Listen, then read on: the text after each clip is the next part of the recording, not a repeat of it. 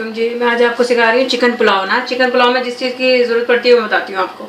इसमें वन के G rice है, एक किलो चावल है, मेरी तीन लार्ज साइज़ ओनियन है, और ये फाइव टेबल स्पून योगन है योगट है हिप फुल भरा हुआ चमचा है योगट का, पाँच। और गार्लिक है मेरा one tablespoon ginger paste है one tablespoon cumin seed है वन टेबल स्पून और ये चार पाँच हरी मिर्चें हैं, ठीक है? और ये हमारा, इसमें भी ये चीज़ें हैं, लेकिन मैं आपको पहले यखनी की चीज़ें बता देती हूँ कि यखनी में क्या जाएँगी। ये मेरे चिकन को पानी में डाल के डाल के बॉईल करना है। इसके लिए हमें चाहिए ज़ीरा one tablespoon cumin seed salt चाहिए आपको one two tablespoon mix गरम मसाला वन टेबल स्पून ही फुल भर के ले लें, काली मिर्चें, गरम मसाला, सारा इसमें मिक्स है और सारी चीज़ें इसमें मिक्स हैं। और दालचीनी है, इसमें चार पाँच स्टिक दालचीनी की ले लें और ये कोरिंडर पाउडर है आपका टू टेबल स्पून और इसमें जंजर है वन टेबल स्पून गार्लिक है वन टेबल स्पून ये सारी चीज़ें हमारी पहले जाएँगी यखनी में। तो यखनी में आपको बताती हूँ कि कैसे डालनी है। इसमें ये पतीला लिया, इसमें आपने सारी चीज़ें डाल दी। गरम मसाला, लहसुन, अदरक वन वन टेबल स्पून ज़ीरा है कोरिंडर पाउडर है। गरम मसाला है सॉल्ट है, सब चला गया। चिकन मेरा सवा किलो का है, ये चिकन चला गया।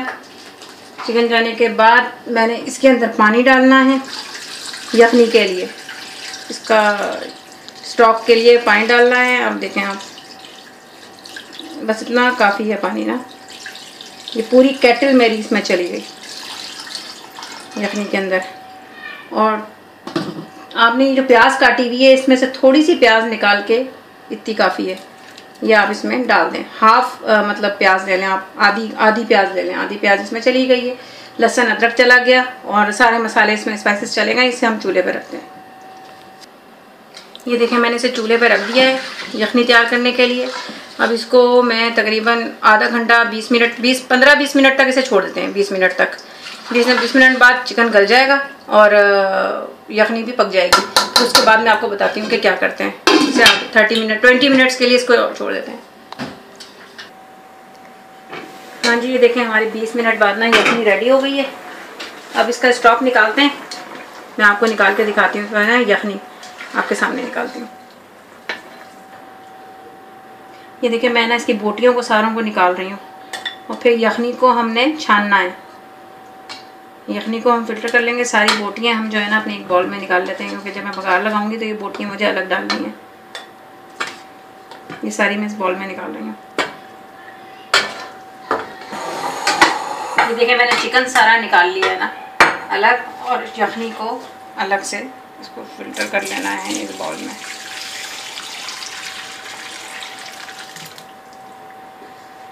सारा हो गया है पानी। अब मैं आगे आपको दिखाती हूँ। ये पानी निकाल लिया आगे क्या करना है? आगे इसको मसाला बनाते हैं इसका। इसको ऐसे रहने दें।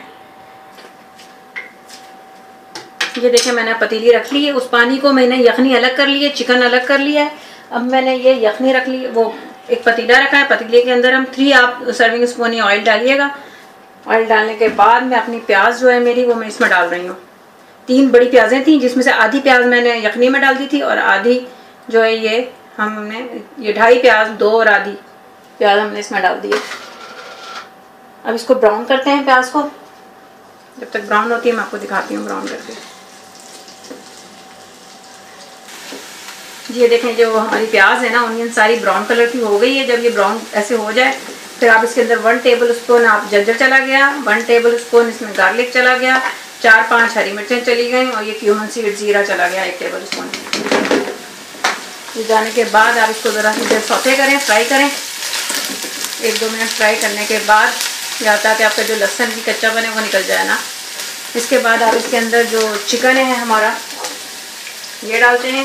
चिकन चला गया हमारा सवा किलो, वन हंड्रेड, कितना? One hundred thirteen hundred gram का चिकन है ना ये। चिकन चला गया। चिकन को दो तीन मिनट फ्राई करते हैं।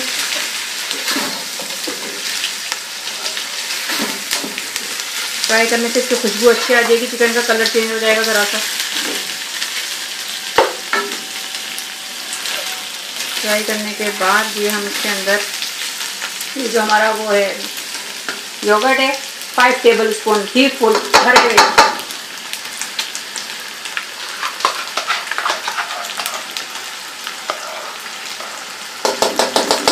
ये चला गया। इसको फ्राई करें। हरी मिर्चें मैंने इसमें चार पाँच डाली हैं। तो वो ये हरी मिर्चों से ही होगा कि स्पाइसी हो जाएगा ये ना।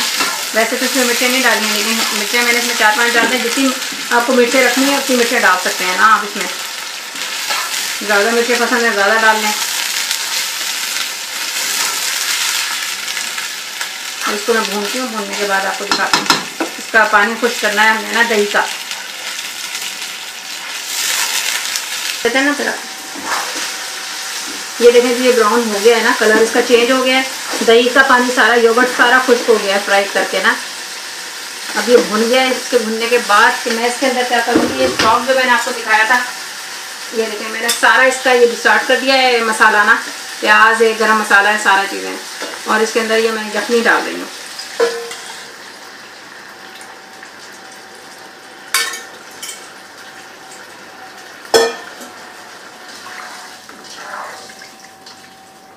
इसका उबाला आने देते हैं, उबाला एक आ जाएगा, फिर हम इसमें अपने राइस मिलाएँगे। जब तक तो इसको कवर करके मैं बॉयल हो जाए एक दफ़ा।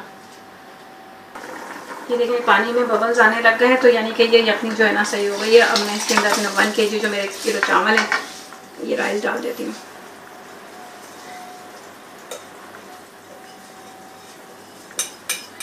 हाथ आप धोके काम कर लीजिएगा, क्योंकि किचन में आके ऐसे कामों में तो आपका हाथों का ज़्यादा ज़रूरत होती है।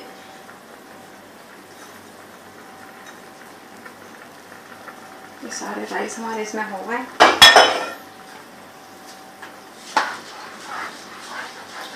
पानी आपने इतना रखना है कि इतना पानी आपके चावलों से ऊँचा हो।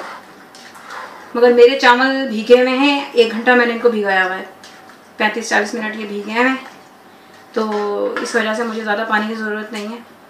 लेकिन पानी इतना होना चाहिए, चावलों से इतना ऊपर होना चाहिए। नमक मैंने इसमें वन टू टेबल स्पून डाल दिया था। और अब अपने अंदाजे से नमक डाल लीजिएगा, जितना भी डालेंगे ना। अब इसको मैं पाँच मिनट तक ज़रा तेज़ आँच पे रखती हूँ हाई फ्लेम पे, और आफ्टर फाइव मिनट्स फिर मैं इसकी जो फ्लेम है, वो मीडियम कर दूँगी ना।